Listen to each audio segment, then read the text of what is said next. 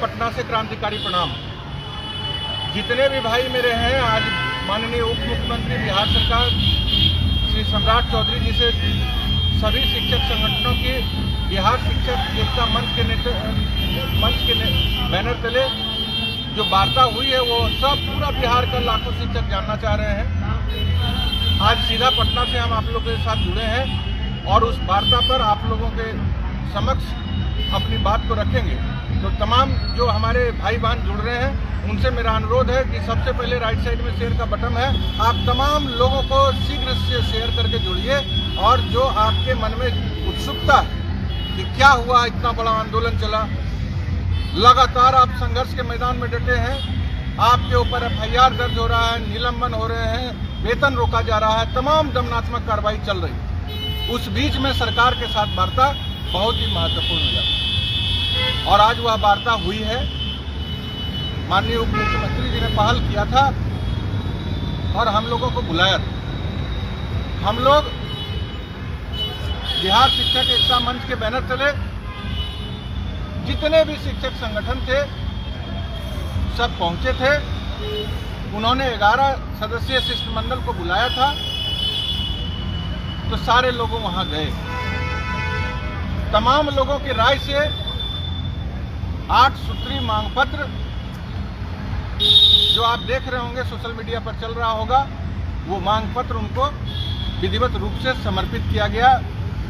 बिहार शिक्षक एकता मंच के राज्य के संयोजक श्री प्रदीप कुमार पप्पू जी के द्वारा। उसके बाद जितनी भी बातें थी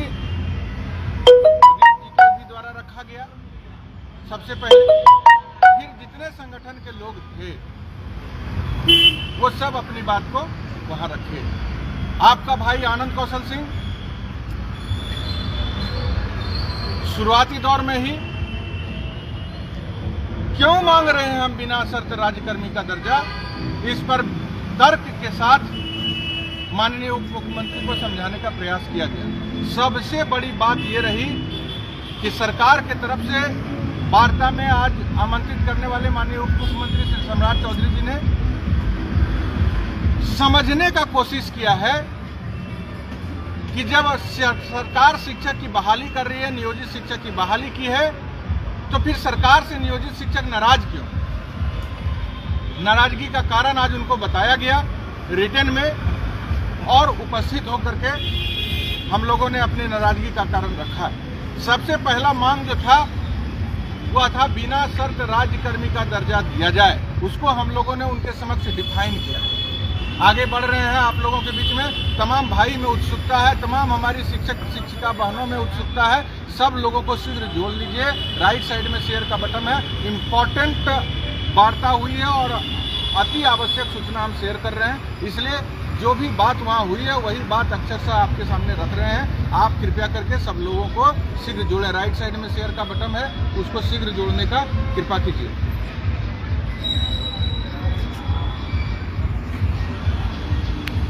सब लोग जुड़ जाइए। घर में हैं, आराम से हैं, शीघ्र जुड़िए, जितने भी भाई हैं। अभी तक जुड़े नहीं हैं। जितने भी भाई हैं, सब लोग शीघ्र जुड़ जाइए। मेरा यही अनुरोध है और आप लोगों से आग्रह है कि जो आप लोगों ने ऐतिहासिक संघर्ष इस विपरीत परिस्थिति में 13 फरवरी को पटना पहुंचकर किया है, वह सफलता की ओर बढ़ने लगा। आप लोग के अंदर में है वह साहस और क्षमता था, जिसके बाद सरकार आप लोगों के मांग पर विचार करने पर आज विवश हो गई। आज जो वार्ता हुई है, उसमें हम लोगों ने अध्यक्ष से खास करके सभी संगठन के लोग अध्यक्ष ने रखा है, आनंद कौशल ने रखा है सबसे पहले कि बिना शर्त राज्यकर्मी का दर्जा दिया जाए, इसलिए दिया जाए परीक्षा का कोई औचित्य नहीं है यह स्पष्ट रूप से समझा दी गई है। सबसे बड़ी बात थी कि उन्होंने यह बात आज तक समझा ही नहीं था कि परीक्षा के बिना राज्यकर्मी का दर्जा हमारा मांग है। आज वह समझे हैं कि बिना शर्त राज्यकर्मी का दर्जा इन लोग जो मांग रहा है, उसके पीछे है कि ये परीक्षा क्यों नहीं देना चाहते हैं। हम लोगों ने उनसे स्पष्ट रूप से कहा है कि माननीय उप मुख्यमंत्री जी, हम लोग बहाली के बाद एससीआरटी के द्वारा जो शिक्षकों के लिए सर्वश्रेष्ठ संस्थान है। उसके द्वारा हम लोग का दक्षता परीक्षा लिया गया और उसको जो पास किए हैं वह आज नौकरी में दो 2012 में बिहार विद्यालय परीक्षा समिति के द्वारा टीईटी की परीक्षा ली, गई और उसको पास करके सब नौकरी में आए। तो जब बिहार विद्यालय परीक्षा समिति और एससीआरटी के द्वारा हम परीक्षा दे करके उसको पास करके सात साल की सेवा में आए।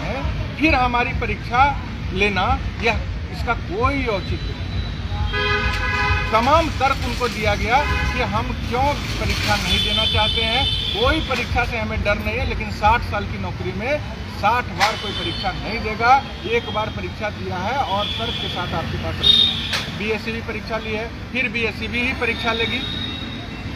ये कैसा सरकार का नियम है? इसका कोई भी संवैधानिक रूप से कहीं इसको जस्टिफाई नहीं किया जा सकता है कि बार बार परीक्षा एक नौकरी के लिए लिया जाए। और उन्होंने इस बात को समझा। स्थानांतरण जो हमारा दूसरा बड़ा मांग था कि हमारे लाखों शिक्षिका बहन मायके में रहकर अपना ज़िंदगी को तबाही के कगार पर पहुँच गया उनका जीवन। ससुराल पक्ष के लोग नाराज़ हैं। मायके में उनको कठिनाई झेलना पड़ रहा है। ज़िंदगी उनका जहन्नुम हो गया। हमारे जो दिव्यांग शिक्षक हैं, वो परेशान हैं। हमारे तमाम जो शिक्षक हैं, वो परेशान है। 2020 की नियमावली में बहुत बड़ा संघर्ष करके हम लोग ने एक्ची का स्थानांतरण का प्रावधान किया। उसको लागू करने के बजाय एक नई नियमावली ला करके खत्म कर दिया जाता है। इस बात को उनको भली भांति हम लोग परिभाषित करते हुए समझाया। आप लोगों के स्थानांतरण के मुद्दे पर, बिना राज्यकर्मी बिना शर्त राज्यकर्मी का दर्जा का मुद्दा पर, प्रमुखता के साथ तर्क के आधार पर एविडेंस के आधार पर माननीय उप मुख्यमंत्री जी के सामने लिखित रूप से, मौखिक रूप से तर्क को रखा गया। उसके बाद तमाम तरह की जो बिहार में कार्रवाइयाँ हो रही हैं, चाहे तेरह तारीख के संध्या में जो एफआईआर दर्ज हुआ शिक्षा विभाग जिला प्रशासन के द्वारा बार बार जो शिक्षकों को निलंबित किया जा रहा है बिना किसी दोष का वेतन स्थगित किया जा रहा है वेतन कटौती किया जा रहा है तमाम तरह का जो दमनात्मक कार्रवाई की जा रही है उस पर एक सुर में हम लोगों का मांग किया किया गया हम लोग के द्वारा कि जो भी ऐसे पदाधिकारी हैं खास करके के, के पाठक जी उनके ऊपर अंकुश लगाया जाए और उनका, उनके ऊपर नियंत्रण सरकार करे और तमाम ऐसे आदेश को रद्द स्कूल का समय जो पहले था, वही निर्धारित किया जाए, उसका भी तर्क दिया गया। अवकाश तालिका पर विस्तृत रूप से चर्चा की गई और उसको तर्क के साथ उनके पास रखा गया। वार्ता के बाद तमाम बिंदु को चाहे प्रोन्नति हो या जो कुछ भी आपकी मांग थी, सबको रखा गया। मुख्य रूप से परीक्षा हम नहीं देंगे। बिना शर्त राजकर्मी का दर्जा, ऐच्छिक स्थानांतरण। इस पर जब माननीय उप मुख्यमंत्री जी ने सभी के बातों को सुनने के बाद अपना वक्तव्य दिया। उन्होंने साफ़ तौर पर कहा कि हमारी सरकार 2005 से लेकर शिक्षकों की, नियोजित शिक्षकों की बहाली कर रही है, उनको सब चीज़ देने का काम कर रही है।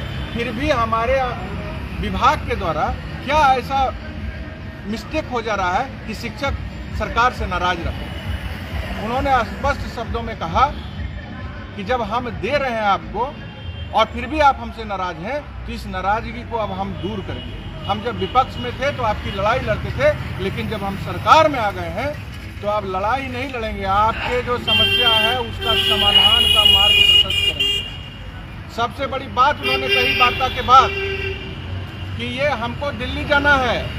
हमारे पास समय नहीं है, इसलिए कल ही हम इस पर अपना जो बात आप लोगों से आया है, जो मांग पत्र आया है, उस पर बिना परीक्षा का राज्यकर्मी का दर्जा कैसे दिया जाए? ऐच्छिक स्थानांतरण का प्रावधान कैसे किया जाए? इस पर कल ही हम विचार करेंगे, कल ही हम संबंधित तमाम लोगों से बात करेंगे और रास्ता निकालने का प्रयास करेंगे। मतलब 24 घंटा मतलब कल फिर इसी टाइम तक उनके कथनानुसार आपकी जितनी भी मांगे थी, खास करके बिना परीक्षा, बिना शर्त राज्यकर्मी का दर्जा ऐच्छिक स्थानांतरण, उस पर उन्होंने निष्कर्ष पर पहुँचने का आश्वासन आज स्पष्ट रूप से दिया है अपने वक्तव्य में, सभी के बातों को सुनने के साथियों, आज मेरे भाई बहन बिहार के तमाम नियोजित शिक्षक भाई बहन हम शुरू से कह रहे कि परीक्षा देने से कोई नियोजित शिक्षक घबरा नहीं रहा, लेकिन हम 60 साल की एक नौकरी में कितनी बार परीक्षा देंगे? जब हमारा परीक्षा एससीआरटी ले लिया है, जब हमारा परीक्षा बीएससी भी ने ले लिया है तो फिर हमारे ऊपर परीक्षा लाद करके हमको नौकरी से निकालने का जो प्रावधान किया जा रहा है, यह है, इसका कोई औचित्य नहीं है। यह संविधान के खिलाफ है जितना भी माननीय हाईकोर्ट सुप्रीम कोर्ट का आदेश है, उससे इधर जाकर लिया गया फैसला है। मत कीजिएगा लाइव है, डिस्टर्ब हो रहा है। इसलिए बुलंदी से अपनी आवाज़ को उठाने का ज़रूरत था, और आप लोगों ने 13 फरवरी को बिहार विधानसभा के समक्ष पहुंचकर जो चट्टानी एकता का परिचय दिया है, उसका नतीजा है, उसका फलाफल है कि आज सरकार आपसे बात कर रही है। और बात करके, आपकी बात को समझ करके यह कह रही है कि आज हम समझे हैं कि आप परीक्षा क्यों नहीं देना चाहते हैं। तो माननीय उप मुख्यमंत्री जी, आज के पहले उन्होंने बताया कि आज के पहले हम सोच रहे थे कि ऑफलाइन कर देंगे तो आपकी मांग पूरी हो जाएगी। डेट खत्म हो रहा है, इसको बढ़ा देंगे फॉर्म भरने का तो आप लोग संतुष्ट हो जाइएगा। लेकिन आज इस बैठक में हमको पता चला है कि आप परीक्षा दे चुके हैं पहले से, इसलिए परीक्षा का आपके लिए औचित्य नहीं बनता है। यह बात आज हम यहाँ पे आने बैठक में समझे। कि सबसे बड़ी बात रही कि हम लोग जो बार बार कह रहे थे कि हम नियोजित शिक्षक कोई परीक्षा से डरते नहीं, लेकिन साठ साल की जब नौकरी हो चुकी है पिछली नियमावली में, और उसके लिए जब हम परीक्षा दे चुके हैं तो हम परीक्षा क्यों देंगे? दूसरी बात हमने जब अपने वक्तव्य में यह बात उनसे कहा कि माननीय उप मुख्यमंत्री जी जो नियमावली आई है उसमें हमारे वेतन में एक रुपया का बढ़ोतरी नहीं हो रहा है। तो ये अन, ये गैर कानूनी तरीके से परीक्षा का क्या आवश्यकता है और किस लिए परीक्षा? एक रुपया का हमारा वेतन बढ़ नहीं रहा है। हमारा जो पहले ईपीएफ मिलता था वह ईपीएफ का प्रावधान को खत्म करके सिर्फ़ एनपीएस किया गया है। तो आप ये समझिए ना कि हमारा जो वेतन है उसमें तो एक रुपया की बढ़ोतरी नहीं हुई। तो इस पर भी उन्होंने संज्ञान लिया। तब उन्होंने कहा कि हाँ कहीं कहीं कुछ कमी रह जा रही है निर्णय में, जिसके चलते नियोजित शिक्षक सरकार से नाराज़ चलते हैं। इस नाराज़गी को आप खत्म करेंगे। यह इच्छा शक्ति उन्होंने प्रकट किया सबसे बड़ा बात रहा कि इसके लिए ज़्यादा उन्होंने लटकाया नहीं। अपने वक्तव्य में स्पष्ट रूप से कहा कि हम कल ही इस पर बात रखेंगे उचित फोरम पर और समाधान क्या निकलेगा?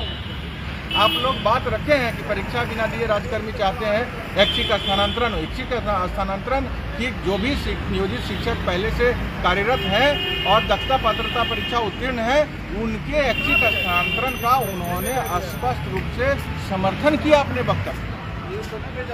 और कहा है कि का स्थानांतरण तो होना ही चाहिए। कि ये बड़ी बात है और सरकार में उप मुख्यमंत्री हैं और उन्होंने कहा कि अब हम जब विपक्ष में थे तो आपकी लड़ाई लड़ते थे, लेकिन जब सरकार में आ गए हैं तो आपकी लड़ाई नहीं लड़ेंगे, आपके समस्या का हम समाधान कराएँगे, यह हमारा कर्तव्य भी है। तो ये बहुत सकारात्मक बात हुई है। अब देखिए, जो बात उन्होंने कहा तो हम आपको बता रहे हैं कि हमारा जो मांग था, उस पर उन्होंने उसको समझते हुए उसका समाधान करने के लिए सरकार के स्तर पर रास्ता निकालने का प्रयास करें। हमको लगा है आज बात का उनसे जो उन्होंने जो अपना वक्तव्य दिया है, उससे हमको लगा है, हम तमाम साथी को, कि यहाँ वार्ता में आने के पहले वो सरकार के मुख्यमंत्री से भी और माननीय मुख्यमंत्री से भी और माननीय शिक्षा मंत्री से भी कुछ बातें कर के आए हैं।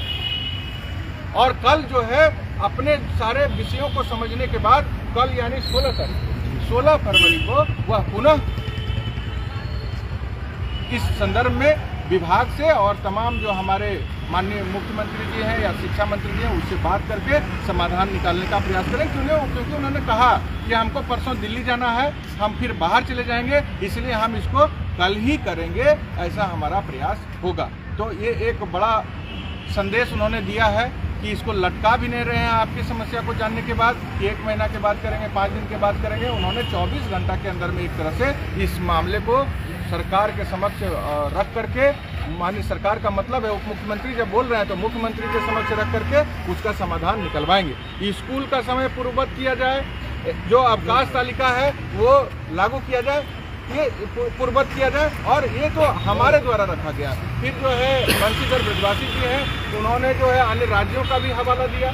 तमाम तरह का जो के के पाठक के द्वारा दमनात्मक कार्रवाई की जा रही है नियम कानून के विरुद्ध। उसके संदर्भ में विस्तृत रूप से उन्होंने ब्यौरा भी प्रस्तुत किया और सभी शिक्षक संगठन के अध्यक्ष चाहे केशव कुमार जी हों राजू सिंह जी हों मार्कंडे पाठक जी हों या भी हमारे हम्म, प्रमोद यादव जी हों और शशि रंजन सुमन जी हों अमित विक्रम जी हो तमाम जो हमारे साथ ग्यारह सदस्य गए थे आनंद मिश्रा भी थे और भी लोग जो संग थे शिक्षक एकता मंच की तरफ़ से ग्यारह लोग अधिकृत होकर गए थे, वो सब लोग बारी बारी से अपनी बात को रखे खास करके हम एफआईआर जो कल भाजपा कार्यालय के पास तेरह तारीख को हुआ है, उसमें गलत मनगढ़ंत का आरोप लगाया गया है। इसको भी संयोजक महोदय प्रदीप कुमार पप्पू के द्वारा भी रखा गया और हम भी पुनः इसको रख करके उनसे कहे हैं कि आप सीसीटीवी फुटेज निकाल के देख लीजिए। तमाम एविडेंस आपके पास है और हम लोगों के ऊपर जो एफआईआर हुआ है,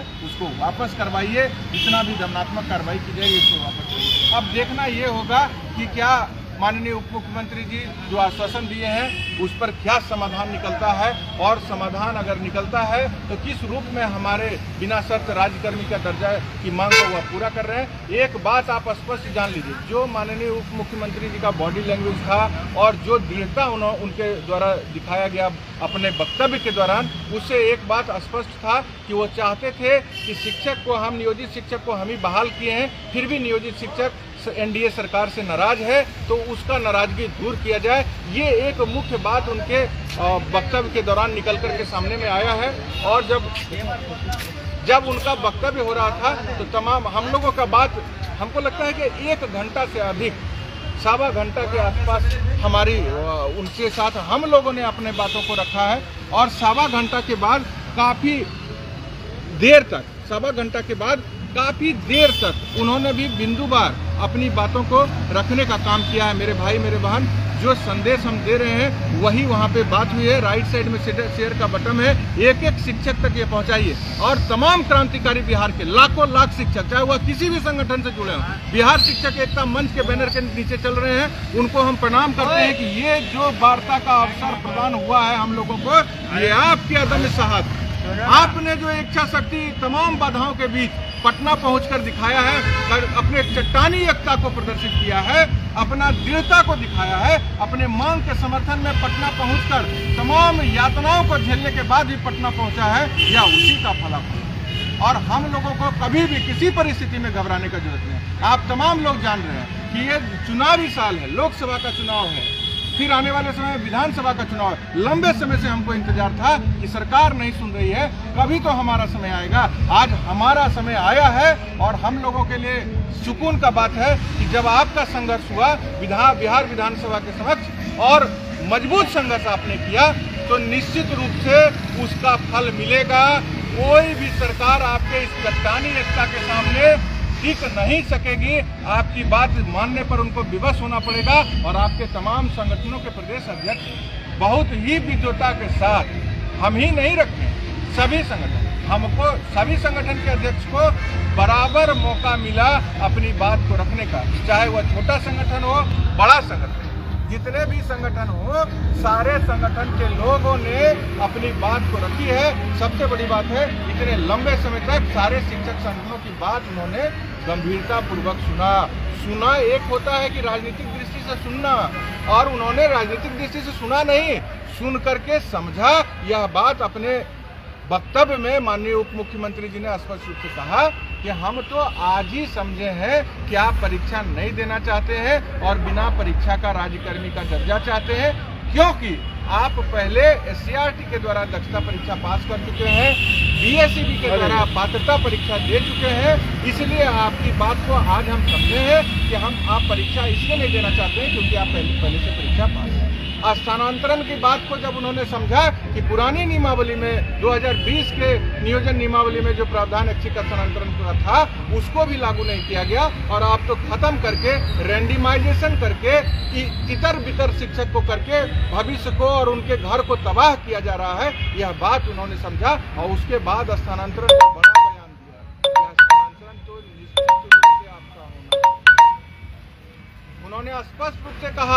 कि स्थानांतरण तो निश्चित रूप से होना चाहिए, यह आपका अधिकार है। अब बिहार सरकार के उप मुख्यमंत्री अगर कहते हैं तो निश्चित रूप से उन्होंने इस, उनको द्वारा यह बात सरकार के पास, माननीय मुख्यमंत्री जी के पास रखा जाएगा और आपका बिना परीक्षा दिए किस प्रकार से राज्यकर्मी का दर्जा दिया जा सकता है? बंशीधर ब्रजवासी जी उसको रखे भी हैं कि दूसरे राज्यों में बिना परीक्षा, खास करके बीजेपी शासित राज्य में ही दिया गया है, बिना परीक्षा लिए। राज्यकर्मी का दर्जा और स्थानांतरण। इसलिए उसका भी एविडेंस पेश किया गया है और आप तमाम लोग जान लीजिए, अपनी चट्टानी एकता बनाए रखिए, राजनीति से ऊपर उठिए, संघ संगठन से इधर हटिए, संघ संगठन से इधर हटिए और बिहार शिक्षक एकता मंच को इसी तरह मज़बूत किए रहिए। मेरे भाई, मेरे बहन, ये अंतिम और निर्णायक संघर्ष का दौर हम लोग का है। अगर यहाँ पर हम लोग किसी तरह से पीछे छूट गए तो जीवन तबाह हो जाएगा, हमारा जीवन समाप्त हो जाएगा। इसलिए नाम शाम से ऊपर उठिए, कोई भी अभी झंझट में नहीं पड़िए और बिहार शिक्षक एकता मंच को इसी तरह मज़बूत बनाए रखिए। आज की वार्ता का जो भी विषय आपके सामने में रखना था, उसको हम रखने का प्रयास किए हैं। और सबसे बड़ा बात है कि जो भी बात को उनके सामने लिखित रूप में रखा गया, उसका साक्ष्य प्रस्तुत किया गया। जो भी बात हम लोग मौखिक रूप से रखे उसका उस साक्ष्य के साथ रखे। और सबसे बड़ी बात है कि माननीय उप मुख्यमंत्री समझी उसकी। अब अगर समझ करके हम लोगों को जो आश्वासन दिए हैं उसके लिए निश्चित रूप से हमको अभी इंतज़ार करना चाहिए क्योंकि उन्होंने कहा है कि ज़्यादा समय नहीं लेंगे। हम दिल्ली जा रहे हैं हम कल यानी सोलह फरवरी। इस पर आप लोगों को प्रयास करेंगे सकारात्मक सरकार के स्तर पर और फिर आपको बुलाएँगे। और बुला करके जो प्रयास हुआ है, उसकी जानकारी देंगे। तो ये एक तरह से आज का जो वार्ता था, वह पटरी पर जाता हुआ नज़र आया। अब इसके फलाफल के लिए हमको जो माननीय उप मुख्यमंत्री ने कहा है, उसके लिए इंतज़ार करना पड़ेगा और हम लोग उनका इंतज़ार करेंगे। फिर बिहार शिक्षक एकता मंच के संयोजक आदरणीय प्रदीप कुमार पप्पू जी के नेतृत्व में हम सभी संगठन के लोग बैठेंगे और आगे की फिर रणनीति बनाने का काम करेंगे। आप तमाम लोग से आग्रह है, चट्टानी एकता बनाए रखिए, बिना शर्त, बिना परीक्षा राज्यकर्मी का दर्जा ऐच्छिक स्थानांतरण, यह जो मुख्य मांग था, स्कूल के समय अवधि को पूर्वत करना, अवकाश तालिका जो पहले से थी, उसको बहाल करना और प्रोन्नति वगैरह जो भी मांग था आपका, आठ सूत्री मांग पत्र उसको दिया गया है, उस पर चर्चा किया गया है।